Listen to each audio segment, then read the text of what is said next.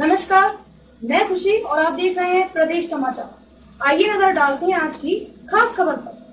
सीतापुर पहुँचेंगे सीएम योगी आदित्यनाथ। चार करोड़ की योजनाओं की देंगे सौगात। मुख्यमंत्री योगी आदित्यनाथ बुधवार लगभग दोपहर एक बजे सिधौली पहुँचेंगे। यहाँ पर भी श्री गांधी महाविद्यालय मैदान पर ज़िले को करीब चार करोड़ रुपए की योजनाओं की सौगात देंगे। इस कार्यक्रम में प्रभारी मंत्री स्वाति सिंह व भाजपा प्रदेश अध्यक्ष स्वतंत्र देव सिंह भी शामिल होंगे। कार्यक्रम में मुख्यमंत्री पूरे एक घंटे रहेंगे। इस दौरान वह विभिन्न जन कल्याणकारी योजनाओं में लगे स्टॉलों का मुआयना करेंगे।